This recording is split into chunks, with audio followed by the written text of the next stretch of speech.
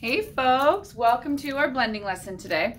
So this week we're starting a brand new unit. We're starting unit five and um, this is day two of the star card, which just means like the, like I said the other day, this is the long R, basically what that sound is. And it's spelled like A-R, like in the word star. All right, so of course, make sure you're focused and you're paying attention to really help yourself get all of these new skills we have going on. Let's get started. All right, first word, yarn, your turn. Ya, R, mm, yarn, yarn.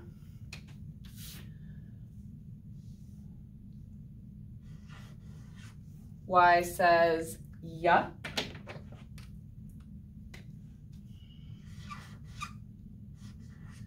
And AR, like the star card, says R. So like I said, some of my students like to, last year, likes to think of AR as the long R because we know that with long vowels, we say long E just says E or long A just says A. Well, when you see AR, you only hear the letter R. You don't hear er, you just hear the letter R. So AR, R.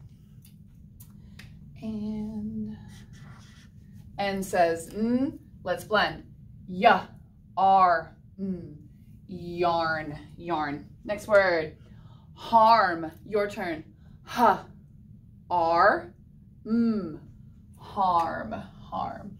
You don't want to harm yourself. H says, H, A, R, R. M says, mm, let's blend. H, R, mm, harm. So you might notice that if you were to do some letter math, if you were to take off the h, you would have the word arm. So if you can recognize that arm, like maybe you've seen that word in a book a ton of times. If you can recognize that arm, then you just, you see the H? Oh, ha, you add the ha to the beginning of that word, arm, and you have ha, arm, harm. All right, next word, chart, your turn. Cha, R, ta chart, chart. So remember this one has that digraph at the beginning. The CH says cha. Remember, we'll never say kaha. Always will it be cha. And AR, cha, R. And then T says ta, cha, art, chart, chart. And next word, Charge, your turn. Cha, R, J. Charge, charge.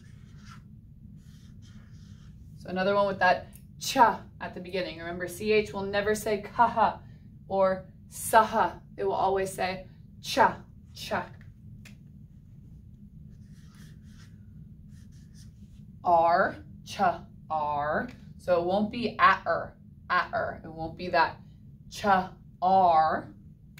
And when I say charge, I hear the J sound, J, which is a soft G. Remember that one. So G-E is one of the ways that we can spell that J, that soft G.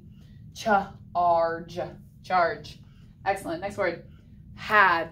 Your turn. Huh? A, d, had. H says Ha, thank you. Short A, a. D says da, ha, ad, had. All right, so if I'm just going to add one letter to this word had, it's gonna change the word, it's gonna change the way it sounds, it's gonna change the meaning. So if I add the letter R, then it changes the word and it makes the word hard. Your turn h, r, d, hard. And if you remember from unit four, hard was a high frequency word. And now we are finding out some tools to sound it out. H says h, R, like star, R, h, R. D says da, let's blend. H, hard, hard. Next word, Smart. Your turn. Sm. R. T. Smart. Smart. S. M. S. M. Sm. Because remember, S says S. M says M. S. M. Put them together. Sm. Sm. And AR says R, like star. T says ta, smart, smart. Uh, next one, apart. Your turn. A, p, r, ta, apart. So in the word apart, I hear short a, a. P says pa, A R R and T says ta a p art apart apart. All right, next word. Party. Your turn. Pa R T E party party. P says pa A-R, like star, says R. T says ta, pa, art, part. Now that's a, that's a real word. We know that word. But the word was party. So you hear the letter E at the end of that word. So that means you're hearing the long E. So we learned a whole bunch of ways to spell that long E sound. And then the word party it is with a Y. So the blank Y, which just means there's a letter or a couple of letters or a sound that comes before it. So in the word party, it's a Y that says E. So let's blend. P-R-T-E, party. Next word, fried. Your turn. Fur, I, duh, fried. I fried some eggs.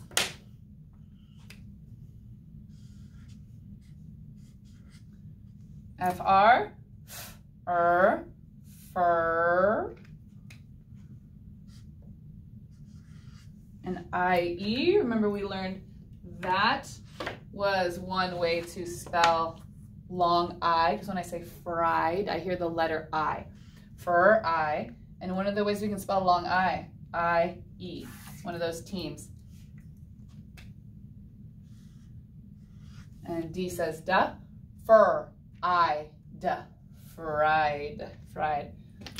So yeah, I-E, vowel team there. And then the A-R, all of these. Not at-er, not at-er. It will be R. So almost like the A is not even really there. The R doesn't say er, it just says the letter R. But only when A and R are together fried. Next word, night. Your turn. N, I, ta. Night, night. So this is another way that we have the long I sound, which says I, and says n. And one of the spellings for I, the long I that we hear in night, is I-G-H. That's one of those teams that work together to say long I. N, mm, I, and T says ta. Let's blend. Mm, t, night, night. All right, let's go ahead and read our board. Yarn, harm, chart. Your turn. charge, had, hard, smart. Your turn.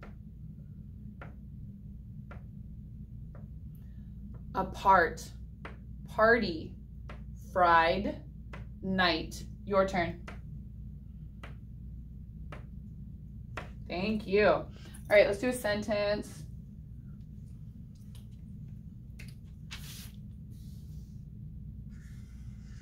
C says, oh, it's a high frequency word, but yes.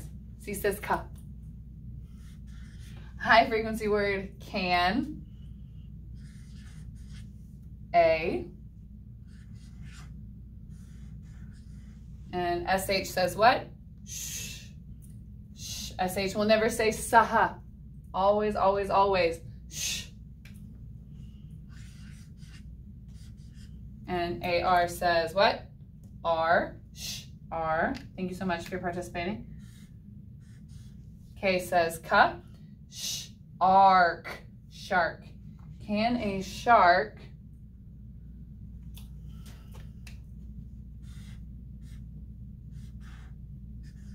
high frequency word live in a B says ba. And AR says R. And says mm, let's blend. Ba R mm, barn. Can a shark live in a barn on a? F says A R R thank you R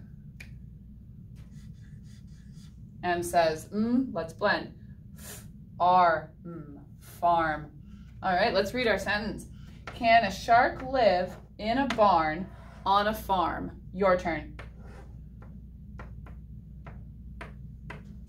Lovely, thank you. All right, so we need some punctuation. So this sentence, um, it has an answer, so it needs a question mark, a question mark, yeah. Remember, if a sentence has an answer, if I can say yes or no to whatever sentence it is, it, it needs a question mark because it's a question. So the answer to this question might be, can a shark live in a barn on a farm? No, are you kidding? A shark can't live in a barn. It needs water. It needs to live in a big, deep, dark ocean. Or it might be, can a shark live in a farm on a barn? Or live in a barn on a farm? Okay. or it could be, yeah, if it was like a toy shark, maybe that toy shark could live on a barn, in a barn, on a farm. All right, so let's do nouns and verbs. So in this sentence, we have one, two, we have three, we have three verb nouns, nouns. So remember, a noun is something that you can touch. So shark is a noun, it's a thing. Probably don't want to touch a shark. Uh, barn is also a thing. It is something you can touch. Farm is a place. So you would be able to touch things on the farm, like the barn, or um, maybe there's horses there, and that would be another noun on the farm. Um, but the farm, like going to the farm, that's an actual place. Okay, let's look for our verb. Remember, a noun does a verb. The verb is an action. So in this sentence, we have one verb, and that's the word live. Because it is asking what the shark can do. Can the shark do this? Can a shark live in a barn on a farm? That's almost like a tongue twister there. All right, thank you so much for your focus and your participation. We'll see you later.